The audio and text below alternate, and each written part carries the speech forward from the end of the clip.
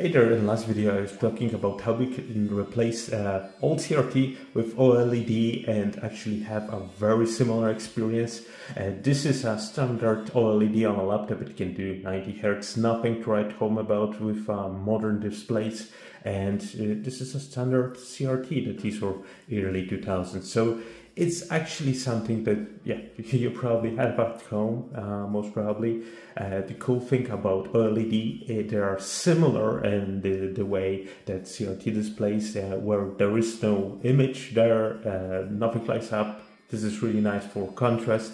Uh, next thing is that CRT can run at different resolutions uh, because uh, the only limitation is the mask. So this one specifically can run at up to 124, uh, 1024, 786, uh, I think, at 75 hertz or, or something like that. So this is really nice. I think it can do 1280 if I'm not mistaken, uh, um, in horizontal res resolution at 60 hertz. So it's actually pretty good. Uh, but uh, so it scales very well, looks really nice. Uh, but the good thing about OLED, they don't really have a problem with refresh So your game will set on a CRT as an output mode uh, the specific refresh rate. So we are limited to what the game outputs if there is no emulation. While uh, here you have a nice shader, and but you have to mess around a little bit more to get the image that you would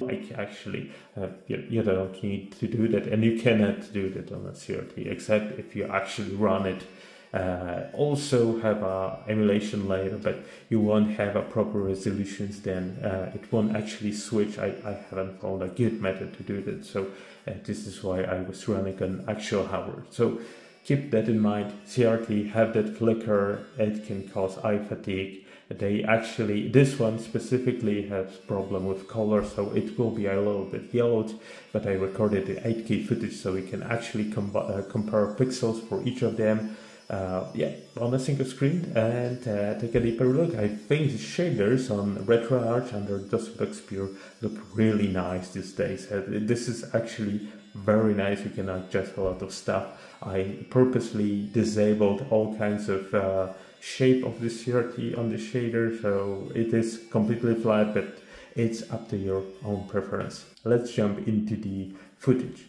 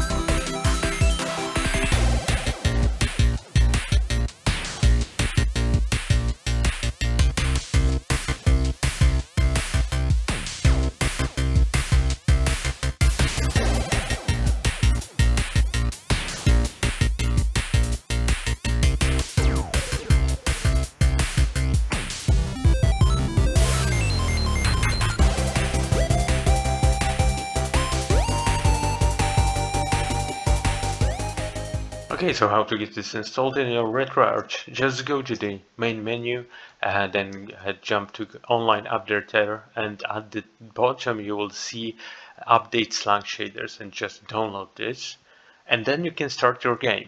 So once in your game you want to press uh, F1 to go to the quick menu, uh, go down and here select shaders enable video shaders and then load your preset, uh, you normally would have your shaders inside your shaders directory under RetroArch. And here I have my Slang shaders that I just downloaded.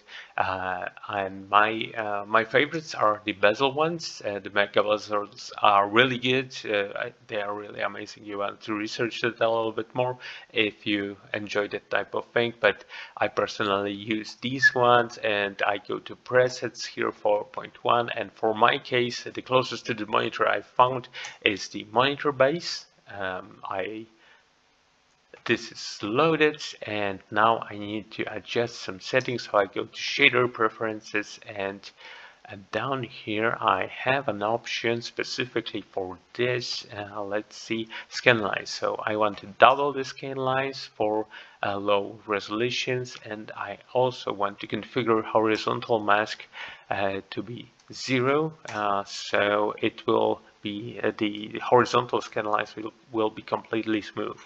Back at the game this looks really good and uh, this is specifically full HD so not, not really perfect uh, jumping here uh, to the menu as you can see here yeah uh, that looks already alright but let me show you how to configure that for DOS or text adventures so let me exit out of this into DOS so under DOS that doesn't look too great. Um, uh, the scan lines are just not right. Uh, so going back to uh, the preferences here, uh, what I do is go up and disable the high resolution uh, mode specifically for these text modes or other high resolution stuff.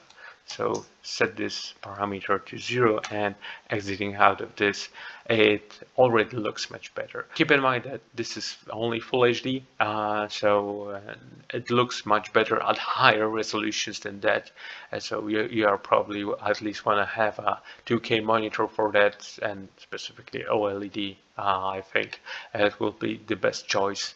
Thank you so much for watching. I hope you enjoyed and I hope that I was able to show off how OLEDs with nice shaders compared to old CRTs. See you guys next time.